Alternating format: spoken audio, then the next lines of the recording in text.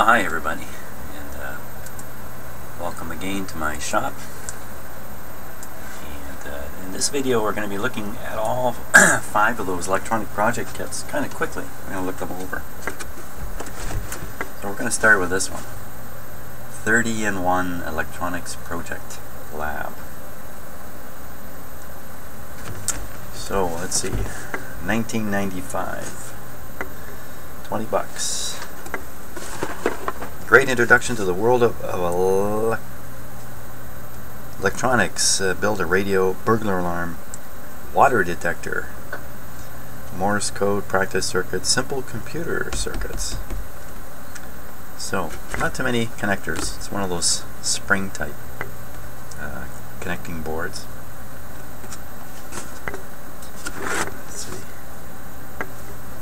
Sometimes there's some pretty cool pictures on here. Check this out. be a, a satellite as envisioned in, uh, I'd say, the mid 70s for this guy.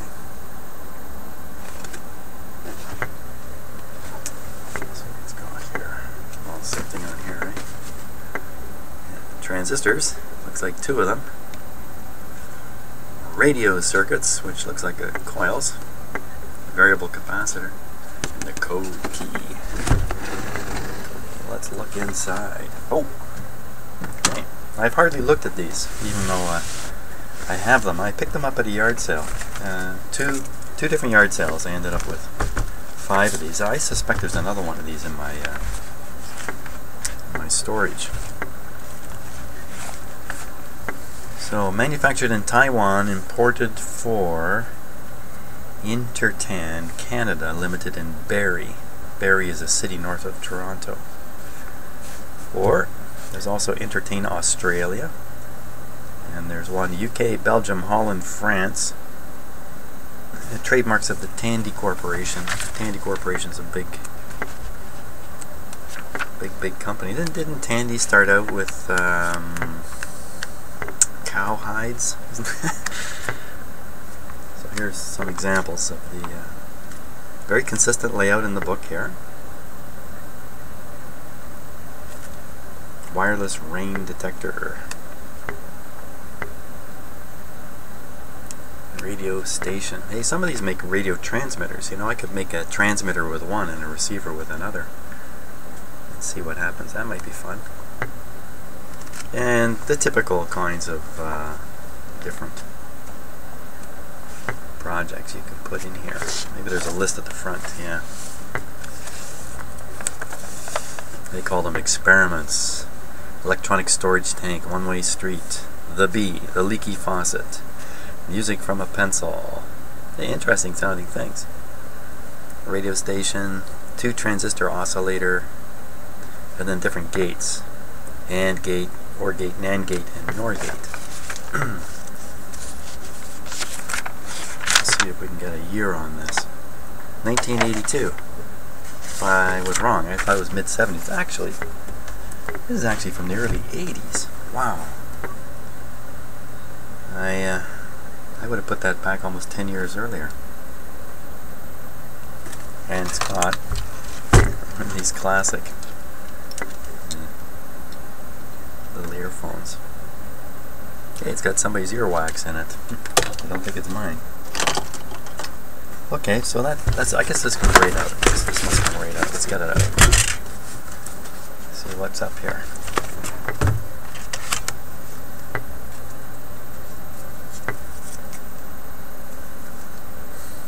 This is Commodore computer. Oh, it's a little uh, drawing stencil thing. Maybe there's some crazy Commodore collector would like that. So, yeah, very basic. Very light, very flimsy. Just cardboard here wonder they sold so many of these. Uh, they're pretty cheap, I imagine. Okay, two transistors, an LED, a diode. And so that's the 30 in 1. Safe and fun with easy instructions. Let's get the next one.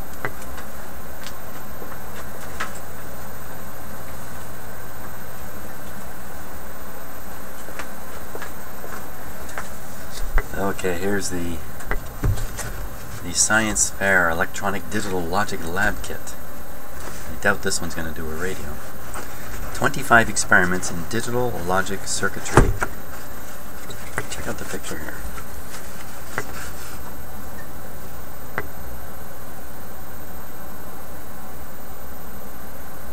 Look at the hair on these guys. That's pretty interesting, eh? So, okay, I gotta guess. This has got to be from the, I'd say 70s, uh, well, by the hair, 73. Um, custom manufactured in Japan for Radio Shack, a division of Tandy.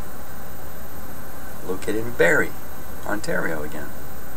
Great introduction to digital circuits, AND, NAND, NOR, OR, LED, solderless. Yeah. So this is supposed to be the digital one. Ooh, look at the book. There's that cool picture again. Australia, Belgium, UK. List of experiments. Light emitting diode operation, manual switch inverter, inverter, inverter. Two input OR gate. So this is all digital stuff. Monostable multivibrator. A-stable multivibrator. Oh, the basic stuff. It's in here.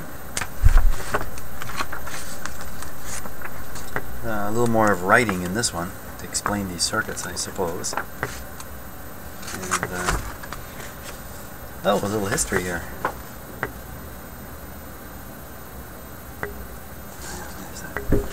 Check out this, this picture here, if you can see that. Look at the computer she's got going there. This is in a, a law enforcement application, of course, the abacus. And the bones and a mechanical, early mechanical calculator here. Interesting, so there's a bit of history in here. Hollerith card tabulator used for the 1890 census. Yes, that was a big turning point, wasn't it? Using cards for a census. Here's the Morse code key.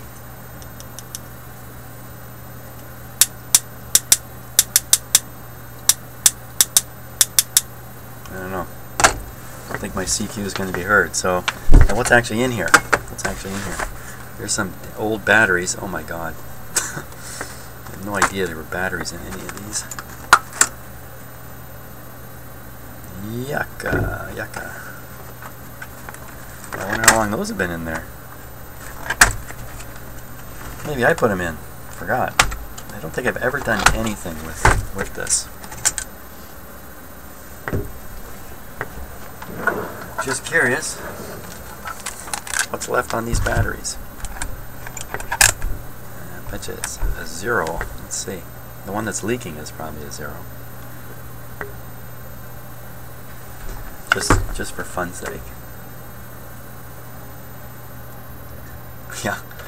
Zero. Not too often you see. Yeah, I'm not even about testing that. Let's get rid of these.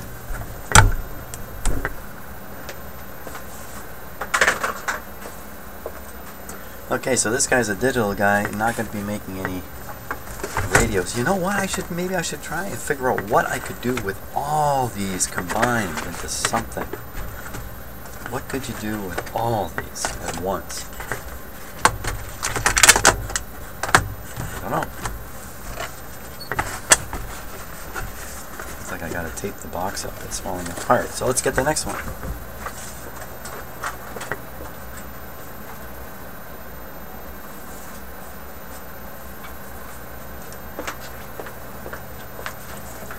Okay, here we go.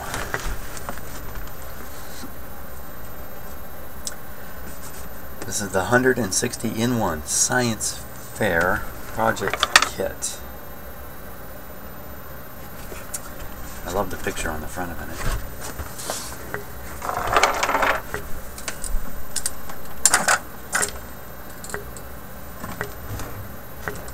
Hard to get the reflection off. This is the first one with a girl on it. And man, are they having a lot of fun. I'm not sure why they're having so much fun because they haven't unpacked the parts. He's hooked one wire up to whatever that is. Uh, it's like a digital a number. And they are just having a gas already. Looks like he's got his finger on this control. So he's hooked up one wire and he's studying the control, turning the control. So that's not quite that easy for ages 10 and up. My gosh, 10 years old? Maybe. Let's see what other goody things here. Uh, with an illustrated manual, lab manual, has a lab manual. Hey, they're very similar picture here. There's the uh, digital number. It's got a meter in it, that's kind of neat. It's got a uh, solar cell, that's kind of neat. Got the radio stuff to build a radio. 160 circuits. That's cool. Projects for building radios, a telegraph, a one-way telephone. Whoa, whoa, whoa, whoa, whoa. A one-way telephone? That would not be a telephone, would it? A wireless mic. See, that's interesting. I could do the wireless mic as the input to a radio transmitter that transmits to a receiver. I got three of them going. Yeah, that might be fun to do that. There's more batteries in this. Oh my gosh. And lots of wires in this one.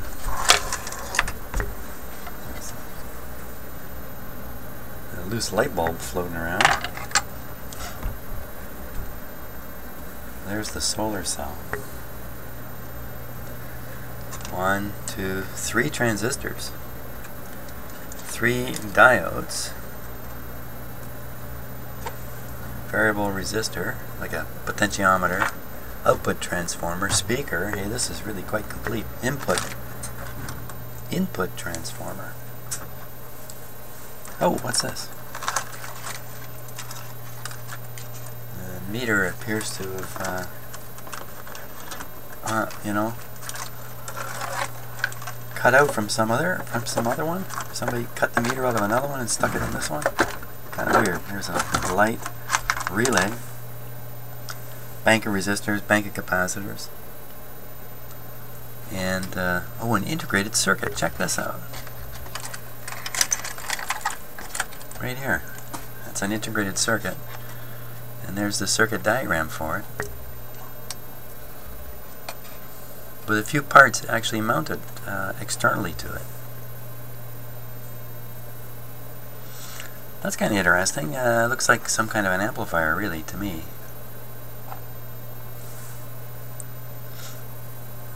And a couple of Darlington, a couple of transistors in Darlington there, I think. Oh, here's some 9 volt battery input, a little higher voltage. Switch Hey, this is pretty good. I like this one. It comes in this nice wooden cabinet. Can you pull this out? Oh, there's no getting that out. Really? They glued it in there?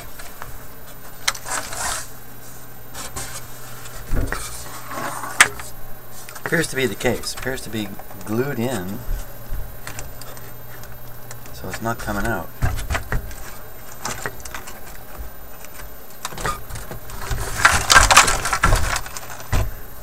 Under there?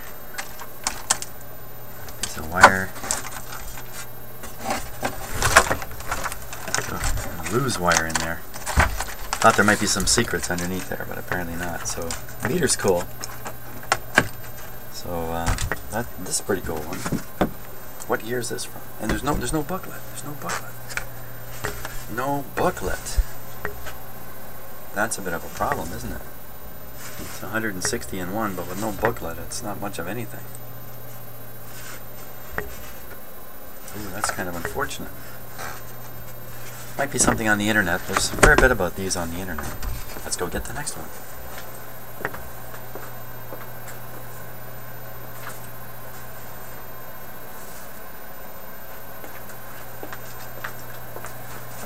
Holy smokes. Look at the size of this thing. My System 7.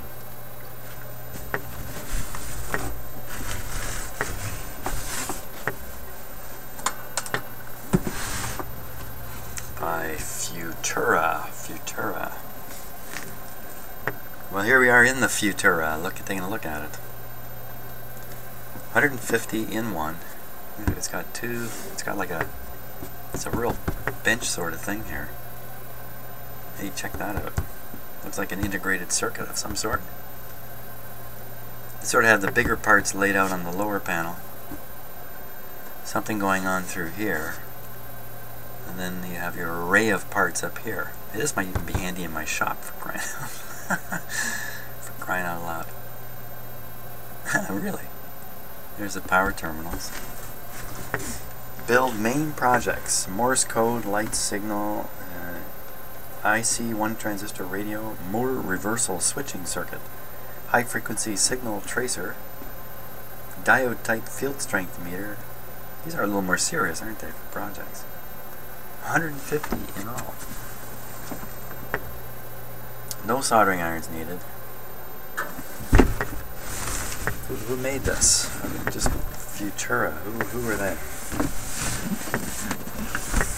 No hint on here, so let's let's take it out of the box.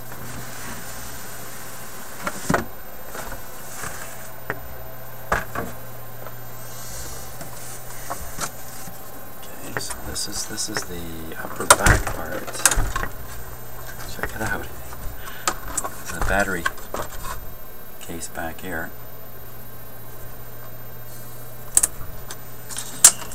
Come on, Mr. Camera. Yeah, battery case back in here, 9 volt position. Nice array of capacitors, resistors. Uh, thermistor. That's kind of interesting. Output transformers, or little transformers anyway. Use them for whatever you want. More resistors. Capacitors. What's this? This is a, a coil of some sort here. Here's a uh, transistor here. Just one transistor? Okay.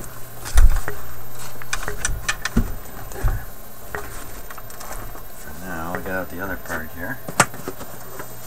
Wow, man, I tell you, if I had one of these when I was a kid, holy smokes. I would have gone wild. Okay, this one here. Um, so this is the wiring for all these parts down here. Like here's the switch terminals, here's the switch down here.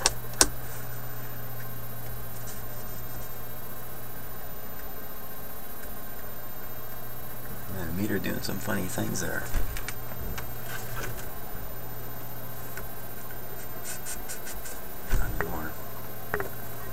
Looks like it might be broken. Let's see. We got code key, relay, switch, meter, solar cell. Solar cell. Whoops. Solar cell. What is this?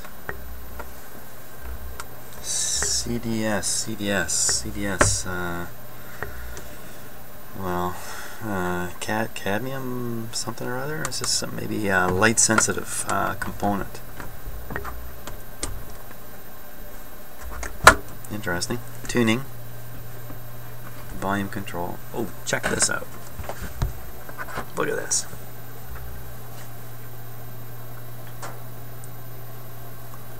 That's a poor man's integrated circuit. I guess this is the circuit diagram here.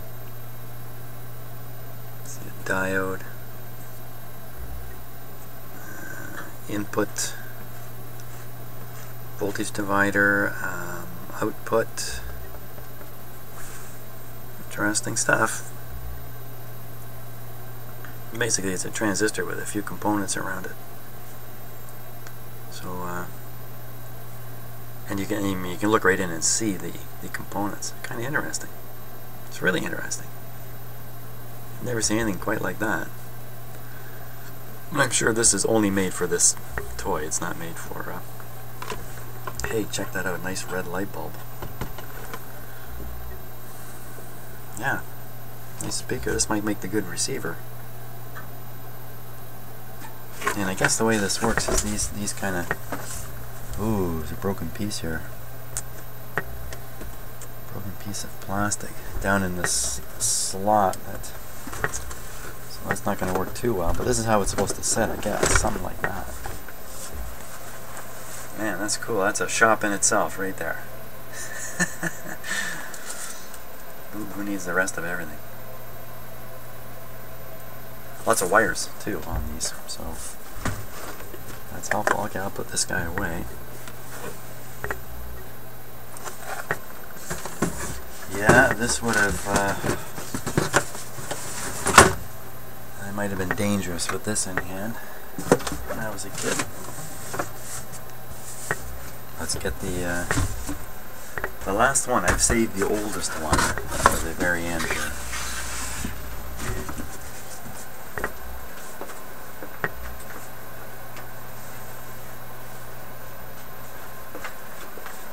I'm pretty sure this is the oldest one.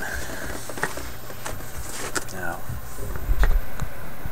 Okay, so this is called Electronic Workshop. I saw on the uh, internet quite a few of these that said Deluxe Electronic Workshop. So unfortunately this is not the deluxe one.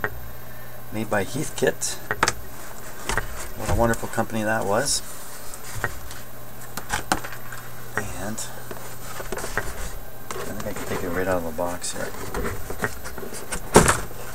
Let's do that. Whoops.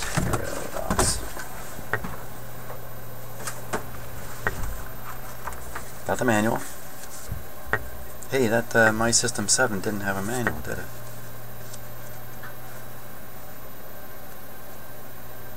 Darn it. But, you know, again, I, I think these things, I can probably find them on the internet. Because there's a fair bit about these, so... Uh, lots of uh, writing in here. This is the best and most powerful radio in this experimenter's kit. Combines all the best circuits of the other radios. It's interesting. Explanation of uh, how to visualize the operation of the various parts based on little people running down a wire. Look at that. There's an explanation of a transistor.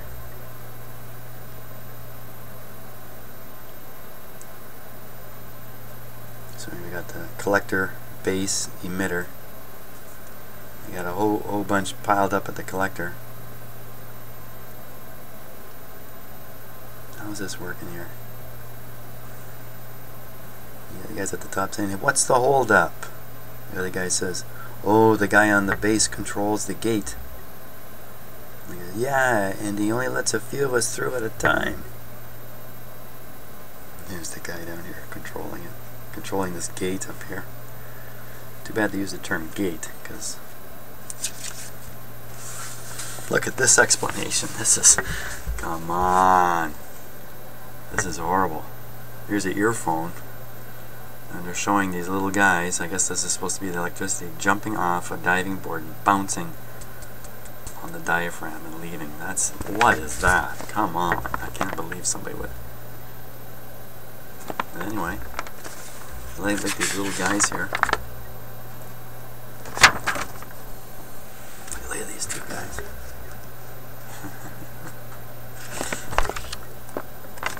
okay. The Heathkit Junior Workshop is made to give you many hours of enjoyment. We also want to show you how electronic things like radios work. 1967. 1967. It's not as old as I thought. We got here? Okay, right away I see, uh, here's that earpiece again.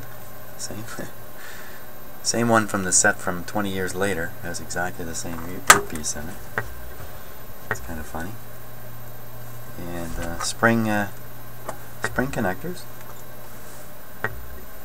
Capacitors, the parts are looking a little older. There's the transistors. Three of them, three of them on here. What's this? Uh, one of the spring things is loose here and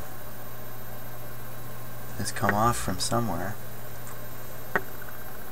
Don't really see where. And I think somebody liked the speaker so much they took it. This is pretty bad. Yeah. The wire's not even under the terminal. This is really poorly done here. I wonder if you had to build the whole board. The, whole, the, the kit was a kit. I wonder. Maybe so. Kind of doubt it. I don't think they would uh, supply it in that kind of condition. But it's very poorly built. Yeah, there'd be instructions right away on how to wire it underneath, and that'd be pretty extensive too, and there's nothing here. Oh, wait a minute. Showing how to put the feet on. It is a Heath kit, isn't it? There they are. They're showing how to wire it underneath. So you you built you built this thing right from square one. Look at there's that putting in the coil. So way to go, Heath kit. You had to build your kit before you could build things with your kit that you built. And uh, is there a list of projects? Must be a list of projects here somewhere. Voice operated relay. So you see I could do a voice operated relay that triggers the uh, transmitter that sends uh, uh, my voice or a signal to a receiver. Just got to figure out what to do with the digital, the digital ones. How do they fit in? Anyway, I think that's the end of the basic tour through these. Um, this one's very radio oriented, I think. Oh, look, there's a spot to put a light in, but there's no light in it. A lot of them have relays in them, too. Well, that's uh, that's a look at these project kits. be honest with you, when I picked them up at a yard sale, I thought, okay, okay, when I'm 85 years old, maybe, maybe, I'll be down to playing around with stuff like this. Of course, when I'm 85 years old, oh my God, what will, what will the computer world be like then? Because 85 is a fair ways away for me lots is going to change. And, uh, of course, at, at 85, you know, you, you don't have the hand control and all that kind of stuff, so. Anyway, I should not be planning for when I'm 85, I should be planning for when I'm just a year older from now, really. Excellent. So there we are. We've all had a closer look at them now, and I'm going to ponder what it is I need to build uh, with each one of these that I can then have them all work together in some kind of coordinated fashion. I think that's the challenge I'm going to take take on with these. And uh, I think today I'll probably just set them aside. Uh, let let you comment uh, on what you've seen here, in case there's some more ideas. And I'm going to wonder who would who wants to buy my official Commodore computer uh, stencil. that is the coolest thing. Somebody wants this, I know it. Somebody wants this. And it could be me, you know, because I never talked about it and I've never shown it on a video. I have a pretty extensive collection of Commodore computers. yes. Yes, I do. What have I got back there? I think I've got, I got one VIC-20, two or three 64s. I got a, a 128. I've got uh, hard drives uh, for all of them. I've got three screens, three Commodore monitors, and I've got a huge whack of software. Um, I don't even know what I got. I, I got I got a, a, row of discs this big easily, and uh, for any of you who might remember Commodore, you put a lot of programs on one disk because most of the programs took up just 10, 15, 20, 20k, not 250 megabytes like today. So, so I don't know what to do with that stuff. I got other little goodies hidden away in my. Uh, actually, it's a crawl space in my house, which I'm not going to reveal right now because somewhere down the road I will. So that's it for showing you these cool guys. And uh, Thanks a lot for watching, and we'll see you soon in the next video.